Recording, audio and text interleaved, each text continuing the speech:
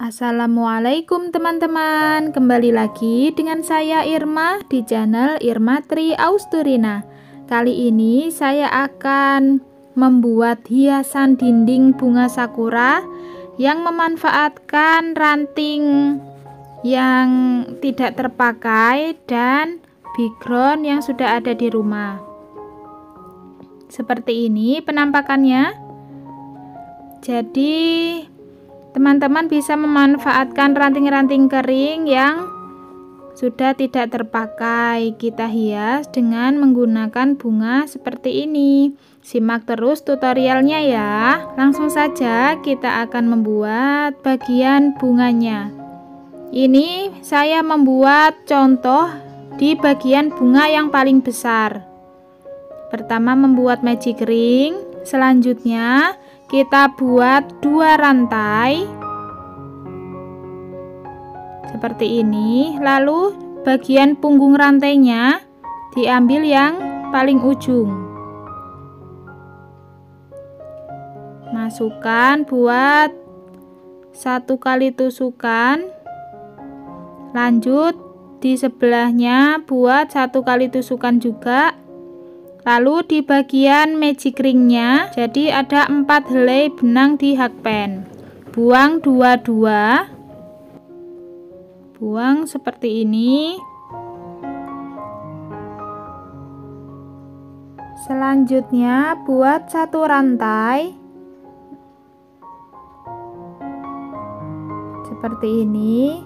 Lalu buat tiga kali tusukan dimulai di awal punggung rantai seperti ini ini tiga kali tusukan lanjut di bagian magic ringnya. Jadi ada lima tusukan benang ya di hakpen lalu buang dua-dua juga. Seperti ini. Selanjutnya kita ulangi. Buat tiga kali tusukan satu kali di bagian magic ring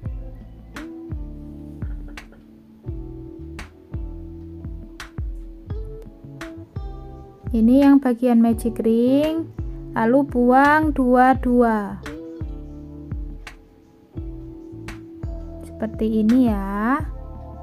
Selanjutnya kita buat satu rantai lalu lompat satu lubang.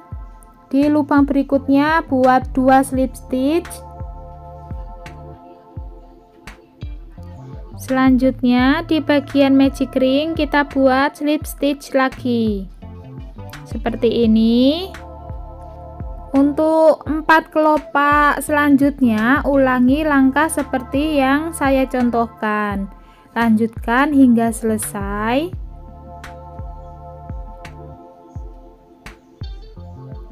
Seperti ini hasilnya. Selanjutnya kita buat bagian tengahnya ini saya menggunakan benang warna merah. Dengan bantuan jarum tapestry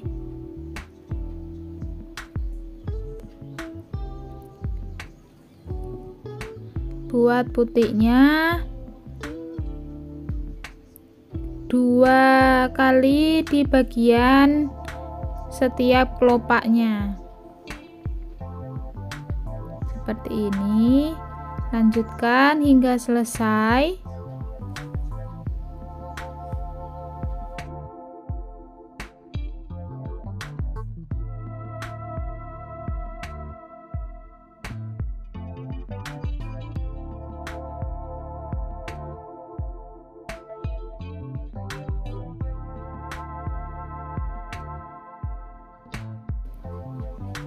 jika sudah selesai kita eh, kaitkan yang di bagian tengahnya ini. Jadi kayak memutar ya. Ini maaf karena benang saya tinggal sedikit jadi sekalian saja. Jadi ini nanti direkatkan jadi mengecil gitu ya yang bagian tengahnya. Seperti ini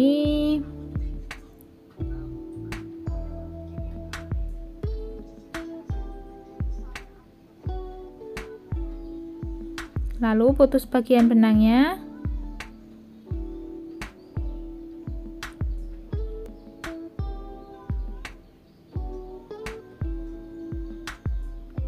Seperti ini hasilnya. Lalu buat beberapa bunga lagi sesuai keinginan teman-teman.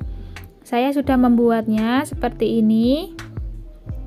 Lalu siapkan bagian rantingnya dan background untuk yang menempelkannya.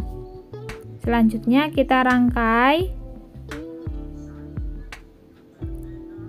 Ini bagian ujung tangkai saya lem. Sebelumnya dipaskan gitu ya ditata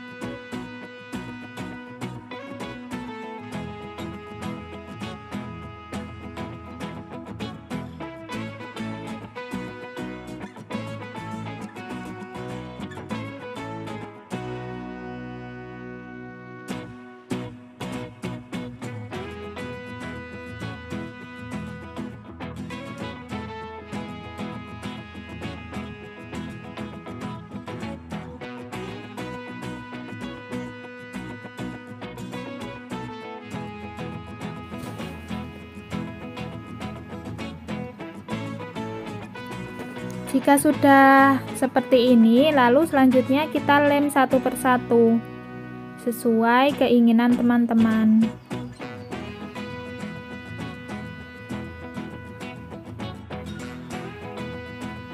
Lanjutkan mengelem hingga selesai. Dan seperti ini hasilnya. Bagaimana cantik kan? Pembuatannya juga mudah.